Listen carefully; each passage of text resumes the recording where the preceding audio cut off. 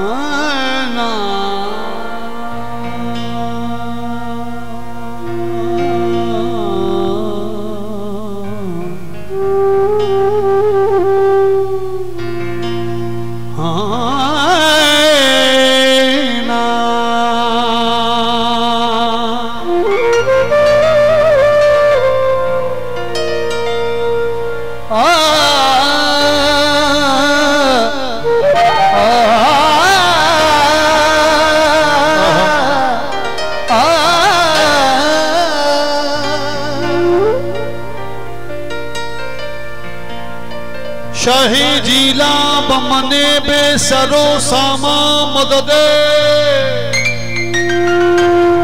قبلائیو دی مدد کعبہ امام مدد حضور، تمام سامعین سے گزارش کروں گا۔ یہ مصرہ میں نے بھی جب سے سنا ہے کو محفل میں سنایا نہیں، اپنے ساتھ رکھتا۔ آپ کو بھی، آپ کی بھی خدمت میں یہی پیش چاہتا ہوں، گزارش۔ جس نے مجھے سکھایا، اس کو حضور غوث پاک کا بار بار دیدار نصیب فرمائے۔ ہے نا؟ امداد کن امداد کن۔ از رنج و غم آزاد کن۔ در دین و دنیا شاد کن۔ یا غوث العظم دستگی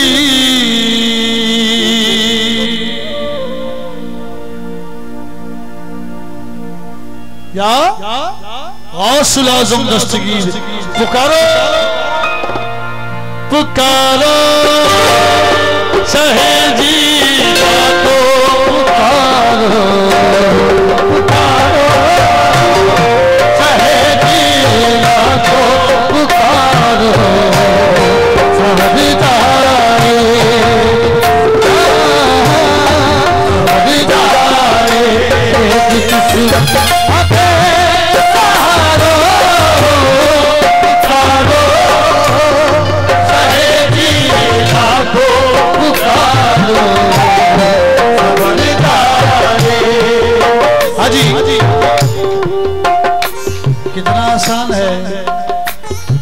اپنی خامیوں کو چھپانا کتنا آسان ہے اپنی بگڑی کو بنوانا پکارو شاہ جی کو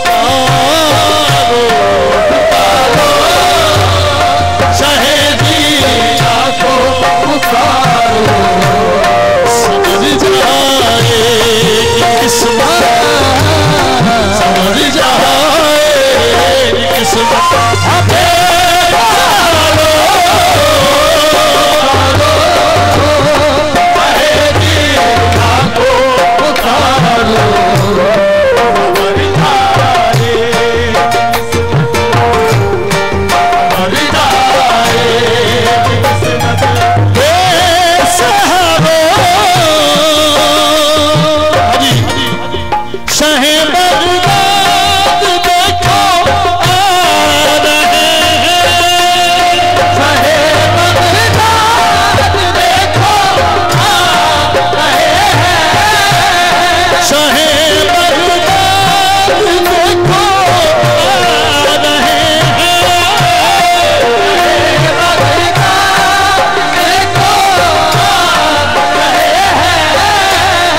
ہیں او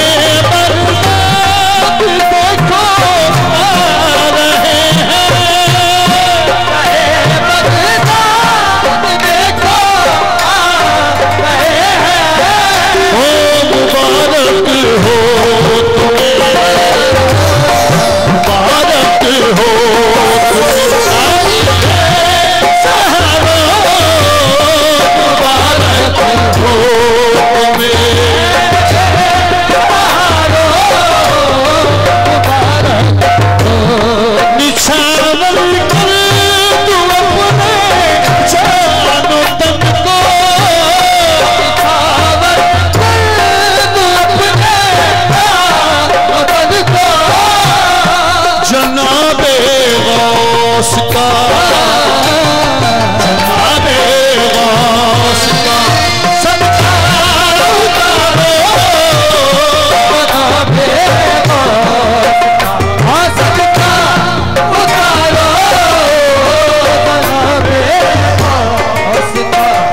کلام شعر پیش کر رہا ہوں۔ میں نے بہت بار اس کلام کی اس کیفیت کو محسوس کیا ہے۔ تمہیں حضور اشاروں سے کام نہیں ہوتا ایکشن کرنا پڑتا ہے۔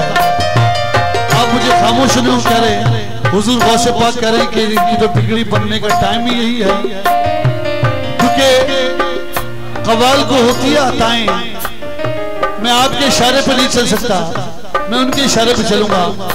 آپ کے اشارے کا مطلب ہے کہ ایک سب ایسی چلے جائیں جیسے آئے ہیں۔ اور میں چاہتا ہوں کہ حضور غوث پاک کی بارگاہ میں اس شیر کو پیش کروں۔ پڑھوں؟ تمہیں مشکل